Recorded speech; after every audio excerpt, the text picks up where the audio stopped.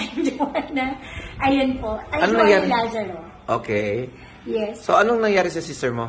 So, yung sister ko po kasi, 4 years na po siyang paralyzed due to stroke. So, yung left body niya, hindi na po nakakagalaw.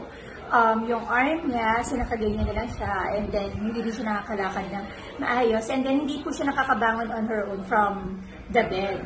So, when Ollie introduced the iTera Care 1 to me, and he mentioned right away na ah marami ng stroke victim na nakapaglakad, Oh. nakatayo, ganyan. So, he got my attention 100%. Kasi ano po talaga ako, before talaga, I'm the kind of person na pag inalokan mo ko ng product ng mga ganito, automatically nag-shutdown yung brain ko. No kagad. Pero dahil na-hook niya kagad ako nung sinabi niyang stroke, so sabi ko, sige, so I listened to him and he presented more testimonials to me, not only about um, stroke victims. So, it got me interested so much. I bought one, one para nga po sa kapatid ko. So, ano nangyari sa kapatid mo? So, nung trinay po namin sa kapatid ko the first time, um, so, eto po yung kapatid ko.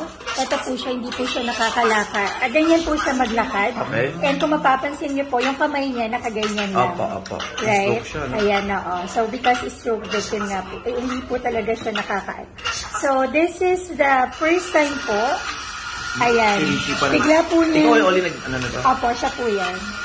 Bigla pong gumalaw yung kamay niya. Gumalaw. Yes, ng many times. So, kasi sabi, sabi na pag isang beses, tsamba. Ah. 'Di ba? Pero ito, ayan o, nagagawa lang yan. Pero never po niya na igagalaw. So, yan po. So, that's for the...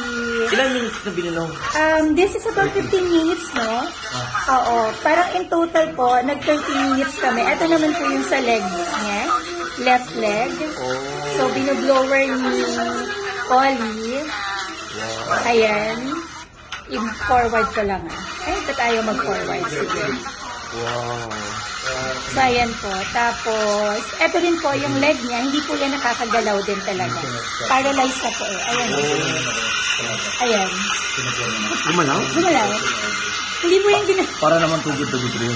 Sobra. Kaya lahat, everything po recorded ko at that time eh. Tugod-tugod rin. Oo, nagulat ako Ilang kasi... taon, ilang taon na siyang hindi gumagalaw yan? Four years na po. And Tapos- this is the most amazing po. Hindi Etong ka naman na nagkukwento, to. Oli? Grabe naman itong mga testimony na Ito to. po, ito po yung most amazing. Dito po yung, dito ako na-solve na sabi ko, this is something that I want to share to others. Dahil po, for four years, hindi na po nakakabangon yung kapatid ko from the bed on her own. Kailangan lagi siyang may assistance. Tapos mo nakabangon? Ayan po, ang tayunin niya.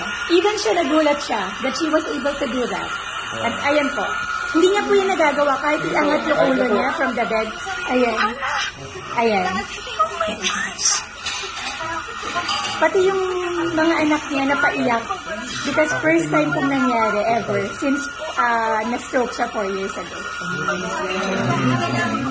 Grabe.